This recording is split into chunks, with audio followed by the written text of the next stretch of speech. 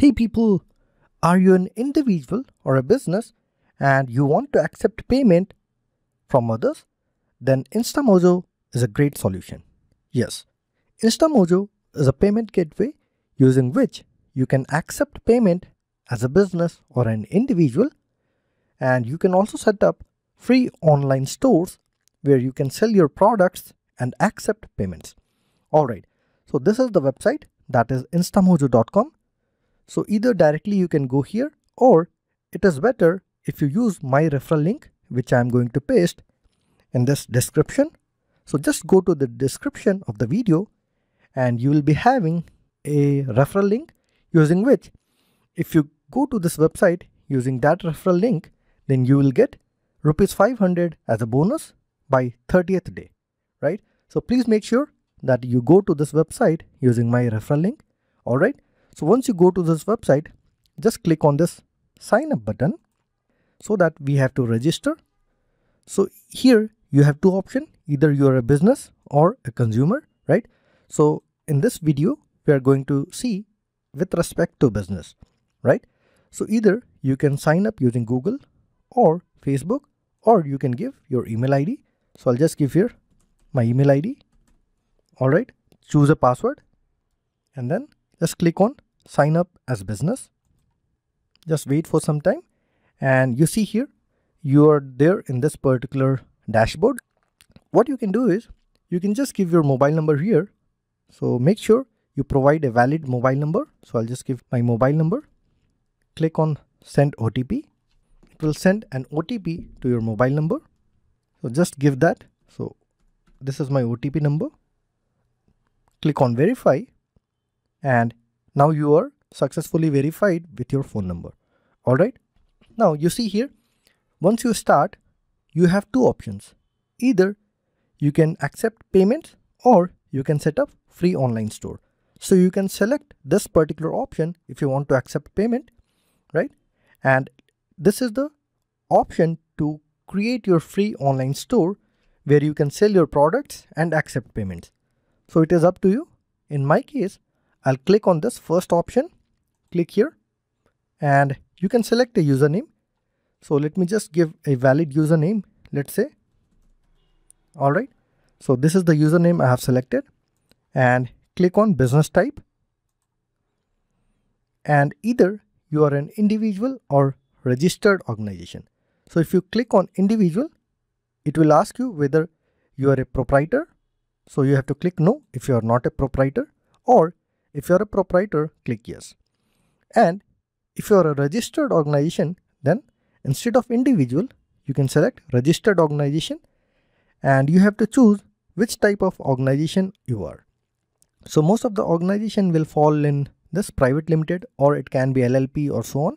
So based on your business, you can select it. In my case, I'm an individual. So I'll select this click on this yes option or no option based on whether you are a proprietor. So in my case, I'm not a proprietor. I'll click on no, click on next. Then what is a business category? So in my case, let me just select, for example, let's say education and jobs. And in this business subcategory, I can just say like, let's say personal teaching or job consulting or online teaching. So let's say I select this online teaching what is my annual turnover so if you're starting now you can just say like 0 i'm starting now. Or you can just say 0 to 10k depending on where you stand. All right? At this moment i'll select 0 i'm starting now. How old is your business? You can just say i'm starting a new business. Or based on your particular standing at this moment you can just select it. Right? And number of employees i'll just give self-employed at this moment. Do you have a website? So if you click yes, that means you have to give your website URL. If you don't have any website, click on no. And then what are the services or products you are going to sell? So you can just say like, I want to provide online training for IT and businesses, right? So you can give something meaningful here, right? I want to accept payments from my students or customers. All right, click on next, more business detail. Here, you have to give your PAN card and make sure that you give a valid PAN card because you cannot change it later. So I'll just give my PAN card here. That is all right. You have to give the name which appears on your PAN card. You have to give your address. Just select your state. I'll select Karnataka. Give your PIN code. And if you have GST number, you can give here, which is optional. And what do you want to sell? So as in my case, I want to give my services. So I'll just select this. If you want to sell products, you can give products, right? And others is if you are not sure whether you are falling into service category or products, you can select others. But in most of the cases, either it will be services or products. Click on next. And here you have to give your bank details. So let me just fill in. All right, just confirm it and accept this terms and condition to create your account. All right, you see here it says congratulations, you're ready to collect payments. And at this moment, it is 10,000, which is the default approved limit. And this 10,000 you can accept maximum in a month, right? And if you want that whatever Instamojo is charging, if you want to pass this to customer, by default it will be on if you want that you should pay that, then you can just select off, right? And this Instamojo fee will be charged to you. All right. So in this case, let me just keep it on so that my customers has to pay 3% plus rupees 3 for each payment. All right. And these are the modes through which payment can be done by your customers.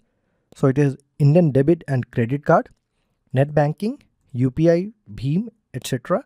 Then we have wallets and then EMI. All right and you see this is your default payment link and just go to dashboard. So this is how your dashboard looks like. And you see here at this moment, as I told you, the limit is 10,000. But if you want to accept payments more than 10,000, it is very easy. Just click on this submit KYC button.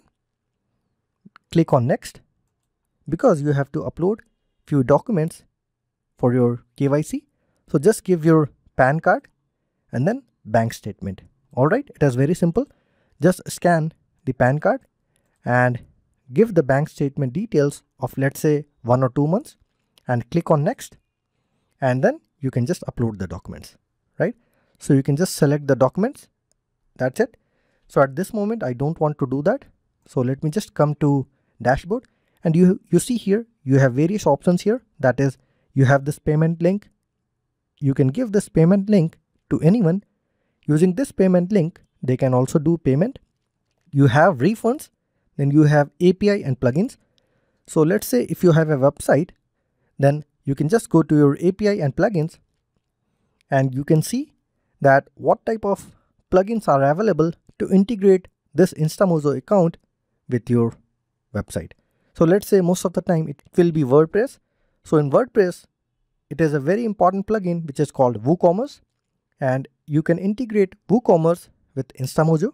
So you can select this or if you are using any other platform, you see here we have CS-Cart, then we have Drupal and so on.